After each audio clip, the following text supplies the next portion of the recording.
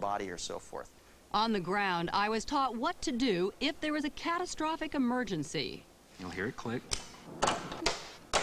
Let's say we're back at home, we're getting ready to land, or maybe it's right after takeoff or during taxi. For whatever reason, something happens. He'll say egress, egress, egress. Look down and grab that scramble handle, pull firmly back till it stops. Oh, Okay?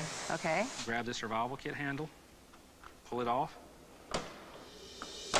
In case there was an emergency up at altitude, I would have to bail out and then steer a parachute that would automatically open three miles above the Earth. I trained with the latest virtual reality technology, learning to avoid obstacles by descending through a computer-generated sky. The pressurized spacesuit I would wear is one of the same ones worn by the first shuttle astronauts. At altitude, without this suit, no one would survive. This is Sergeant Diekman. He's going to be fitting you for your helmet and your gloves and your suit.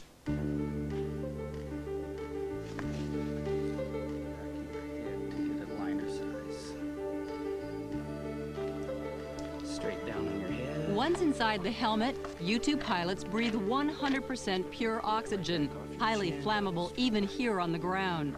For that reason, you must remove all hair and makeup products. The 32-pound suit is bulky and constricting. Every pilot has a team to dress them. Ooh, that's tight. There's a cooling system inside because heat is a serious threat. Sealed up, your core body temperature rises one degree every 10 minutes. Eventually, you could pass out. I feel like I'm wearing Okay, my little ahead and sit sister's back down. clothes. Every part snaps together to create an airtight seal. Ensconced in this second skin, air is pumped into the suit to test and retest for any leaks. Technicians do this each time a pilot puts on the suit. okay? That's snug. I'm, I mean, I'm definitely feeling a little claustrophobic and all that, yeah. It's a very strange, strange feeling. Pure oxygen is pumped into my tight-fitting rubber mask. It's uncomfortable. I could also sense my heart rate rising rapidly as the team secured the last straps.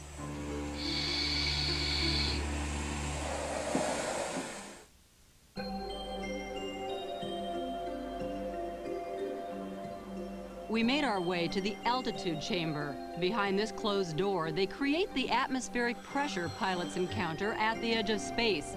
This exercise is considered the most demanding challenge that new pilots face before they fly in a U-2. Let's go ahead and start our ascent to 40,000, please, and beyond. How are your ears feeling? I Just popped them. Okay, good.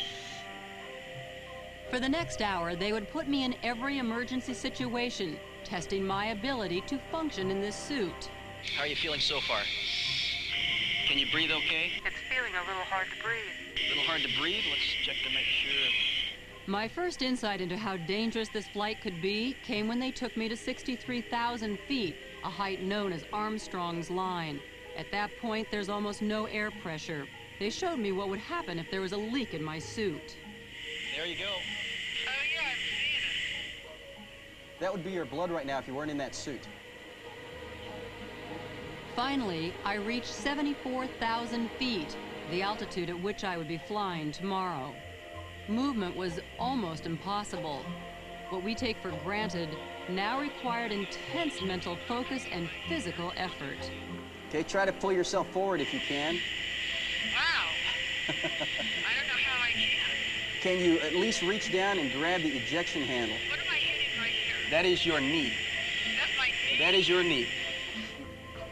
Next, they tested my reaction to the unthinkable. Suddenly, the cockpit springs a leak. We lose all cabin pressure in less than a second, in what's called a rapid decompression. Here we go. Don't hold your breath, and off we go.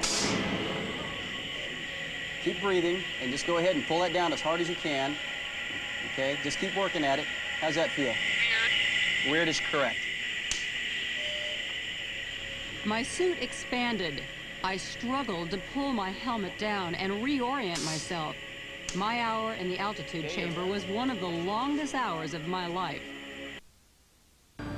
As Colonel Buda touched the nose of the plane for good luck, I made my final approach to the aircraft.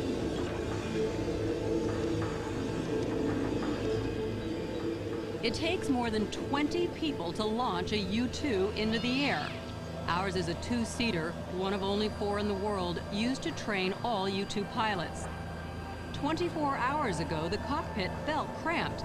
In my suit, it felt like there was no space at all. Finally, the canopy was locked down.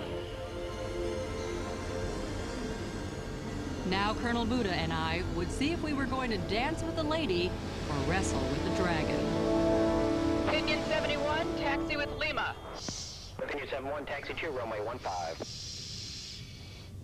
Pinion 71. Okay, now, here comes the OCAP. Watch out.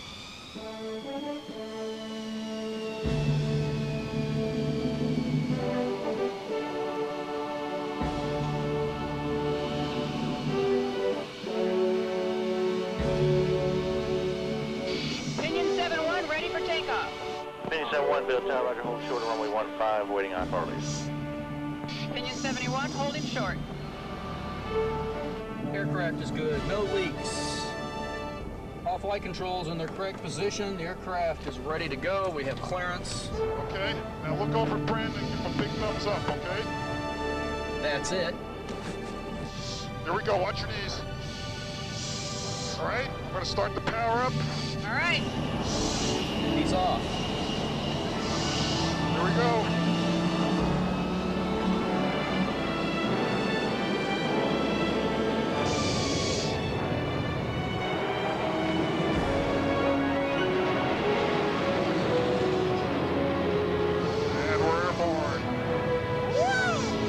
Told you it's a rush. It is a rush.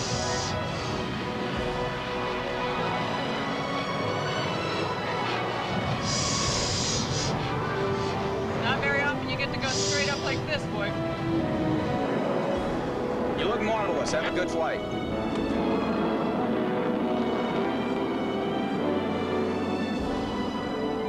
In less than a minute, at 6,000 feet, we broke through the clouds into brilliant sunshine and a cobalt blue sky.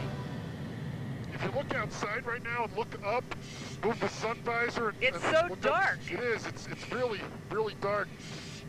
It's so beautiful. All right, now Mount uh, Shasta's off the. I saw it. It's right there over it is, there. yeah. I see it peeking up over, out through the clouds. Our training mission would take us up to Eugene, Oregon, It's a lot harder than it looks. I would have liked to have hit 70 or higher.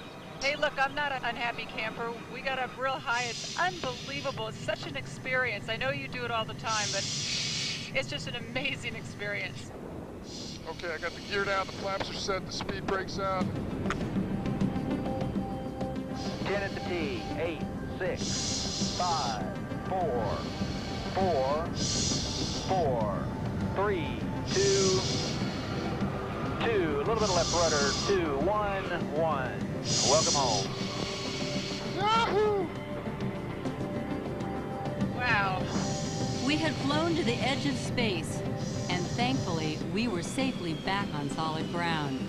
But now, even getting out of the U-2 would be difficult. We taxi in, and it takes two teams to disconnect us from the plane.